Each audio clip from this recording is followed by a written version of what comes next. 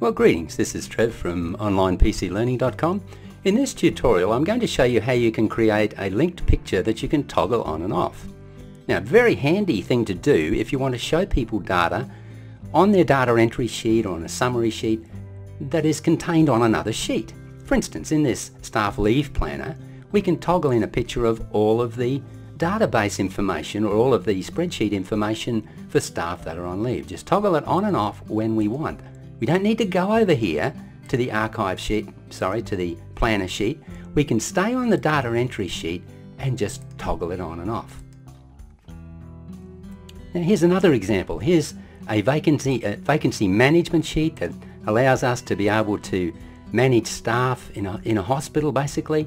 We're able to toggle all information on and off here. But what we can also do is we have a summary sheet of summary of all those that are vacant for the different wards and grades and so on. But what we're able to do is to show that sheet here. We don't need to go to it. While we're working on our sheet here and we want to see who's available, we can just quickly at any moment pick up the information and that will help us in making informed decisions as we're working on the sheet. Just toggles on and off. So how do you do it? Well, here's the process. And we're going to use the staff leave planner that many of you may have created as the basis for this tutorial because if you want to add this to it, you can. Now, here's our planner information. This is the information here. We want to toggle this information, have it appear as a picture on this front sheet. Well, how do we do it? Well, let's first of all show the ribbon. We're going to go up here and show commands and tabs. We'll then go to our planner sheet. Now, the first thing that we need to do is to highlight, or if we've got our sheet protected, we better unprotect it first of all. And we'll go back to our data entry sheet and just make sure that that's unprotected for the moment as well. This will work on a protected sheet by the way, but I'm just doing this so we can copy the data. So we go into our planner sheet and then we're grabbing all the information here that we want to link or we want to be in our linked picture all the way down to there back to the home tab at the top and we're choosing copy so now you see our little moving dotted lines that indicates that that information has now been sent to the clipboard everything there's sent to the clipboard. We now want to paste it. Next thing to do is go to the area where you want to paste it, which is this data entry sheet here. Click on the Paste tab here and choose Paste Link. Now you might be thinking it didn't work. Well it did, it's down here. I'll just pull it up. A couple of things here to note. In fact, this picture's too big for what we want. So we're just going to minimize it down so we can work with it. And you'll notice something else about it. You can see through it. Well, how do we fix that? Well, back to the planner sheet. What we want to do is go back to our planner sheet and all the information in here, hit escape to clear the clipboard, all this information in here has no fill background. We're going to put a white fill background in. Unless you want to leave it transparent. So just right click, format cells, up here, here to fill and choose white. Okay, now we go back to our data entry sheet. We'll see that the information is blocked out because it's got a white background. Here's our picture. Put it in the place you want and size it. Try to size it so you size the X and Y axis together. Otherwise, you're going to get a little bit of distortion. So we'll just bring that down. Just going to bring it down to about there. I think that will do us just nicely. So we've got our link picture, we've got it on the sheet that we want, now we just need a little bit of VBA code to toggle it on and off with a button. How do we get that? Now I guess just before we move on, I should explain something about this. This is not a picture of the data, this is a picture of your spreadsheet. So if we were to go to the, the spreadsheet here and add a, a, insert another picture on top of the spreadsheet. So we go pictures, let's find something we can put into here. All right, we'll put this in, just an image pop it in up here. Now when we go back, so we put an image now on top of our spreadsheet, on top of the data that's in the spreadsheet, the formulas and whatever. We'll go back to data entry and you'll notice that that image appears because what we have here is a picture of the spreadsheet, an object picture that we're taking of it. Now what we want to know is what is the, the name given to that shape that is now on this sheet. So let's see if we can find out. Now there is more than one way to find the name, but I'm going to show you the easiest way to do it. So what we want to do is find out the name of this sheet, or the name of this object. What is the name of the object? Well, let's just click on the object.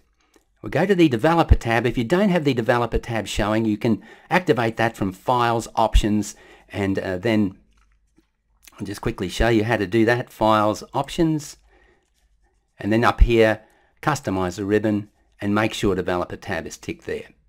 Okay, we'll just pop back in here. We want to record a macro, so record macro. Don't worry about any of the details in here. Just simply go OK. Now, deselect the shape, select the shape, and then move it a fraction.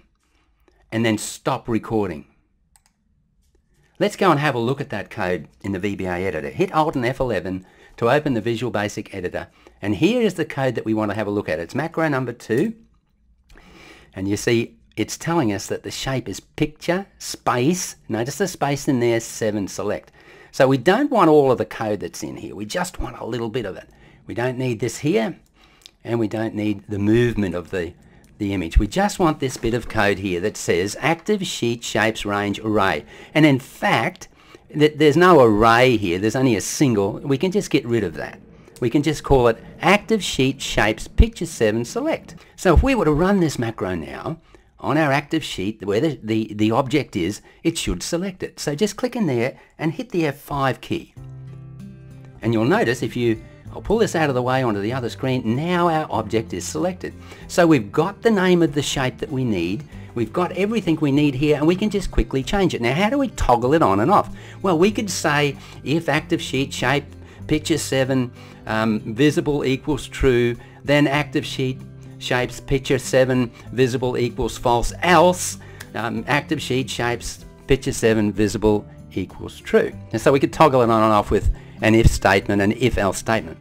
But there's an easier way, you don't need to do that. So let's just go in here and remove select and we'll just type in visible. So we've got active sheet shapes picture 7 dot visible equals and then type in not and then copy the first piece of code again, copy it over, copy, and then paste it the other side of there. Click outside. So what have we got? We're saying active sheet shapes picture 7 visible equals not. So in other words, it's an automatic toggle there. The reason why we can do that with this is because we're using the same object and the same, we're, we're just asking for true or false. That's really all we're doing. Is it visible or is it not? So let's see if that works. If we were to click in here now, I'll minimize this down so you can see it. We should start to see our, remove this. We should start to see that shape toggle on and off. So it's gone. F5 again, it's back. Works beautifully. Okay, so that's the piece of code we need. Let's change its name here to toggle. That's all we really need. Close that up. Assign a shape, insert Let's go here to shapes and assign a nice little shape to here. Well actually what we might do, we've already got one highlighted here, we'll copy this shape and paste it and then we'll change the name, edit the text and we'll call this toggle and then assign that macro to it. Right click and we're going to choose assign macro. Toggle. Okay.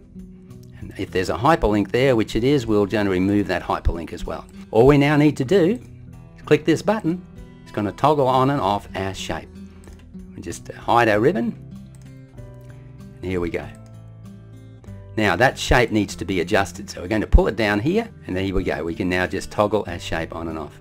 It'll work on a protected sheet just the same. Why don't you try using that to help your user? Very nice, easy little piece of information that you can present to the user at any given time. Be moderate with it. Remember, it is an object, a large object on the sheet. Don't start, go sticking half a dozen of these on there. This is Trev from OnlinePCLearning.com. Thank you very much for listening. I hope this has been a help. Have a great day and bye for now.